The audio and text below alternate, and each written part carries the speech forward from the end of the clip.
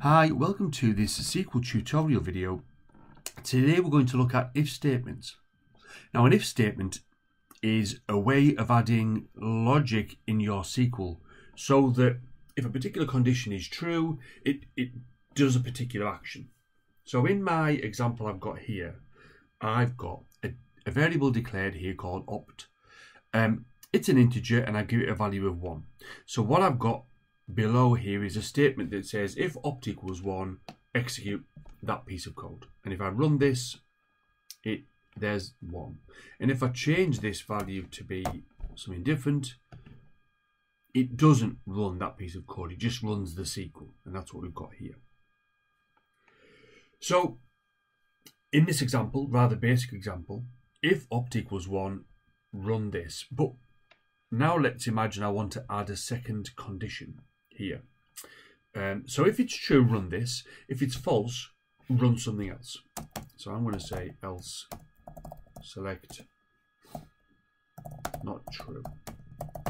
Oh, honestly, if I could type. So I'll move this back to 1.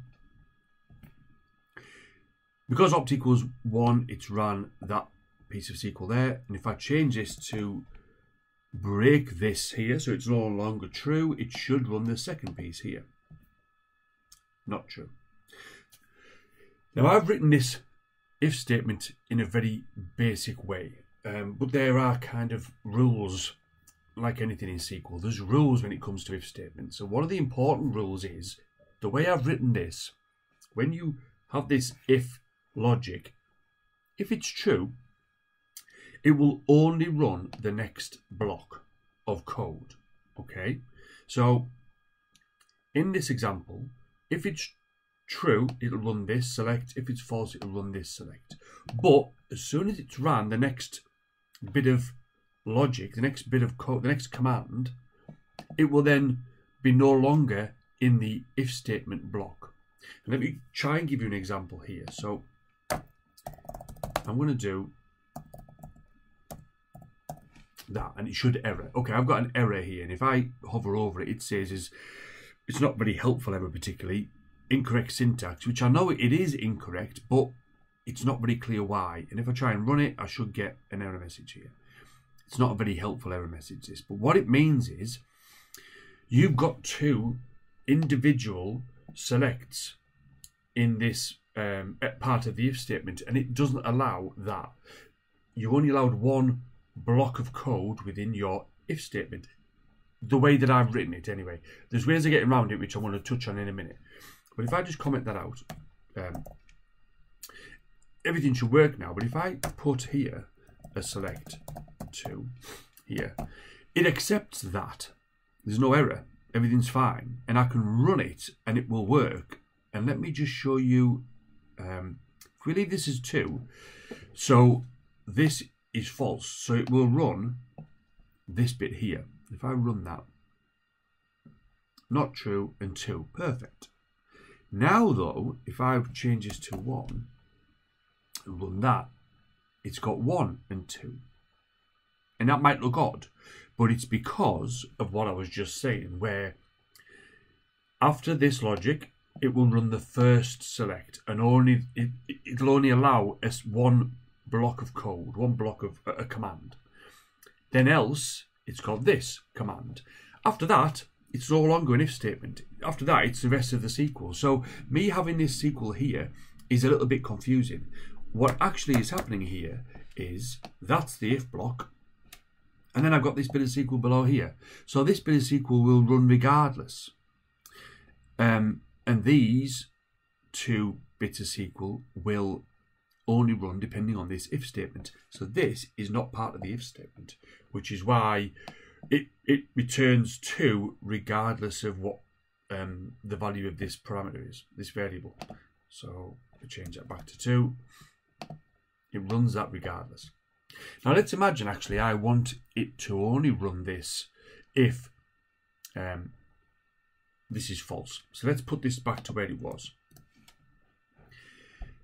In order to run more than one command, following uh, an if condition check, you need to do a begin and end. So I'm going to do, in fact I won't put it there, I'll put it here. begin, end. Now what that means is this here is the block as part of the if statement. So if it's true, run this. If it's false, run everything between the beginning and end. And I can I can add loads and loads of um, bits here. So if I run this when it equals 1, I'll get select 1. And if I change it, I'll get select not true, 2 and 3. So this is now part of the if statement and it's part of the else bit of the if statement. Now you can have multiple if statements here. So you could say else if opt equals 2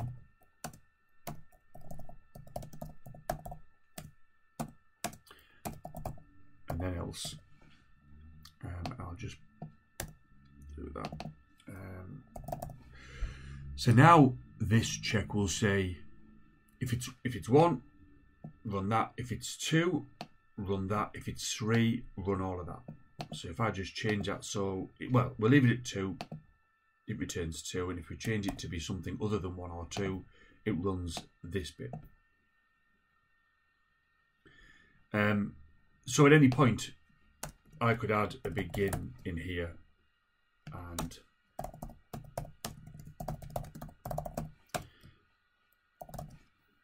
so if I change this back to 1 I've added an extra select in there and there you go 1 and here. Um, it's also worth noting, I think, that you can add an if statement and have it all on one line. So if I do, oh, well, I'll put one. Oh,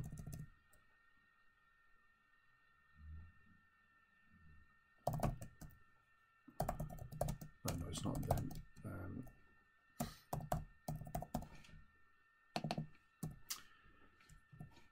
So if I run this, we get the hello, we get one, and we get here. So that equals one, so it's run that. Then it's run that. And if I change that to two, oops, excuse me, then it's run that. And if I change it to be neither one nor two,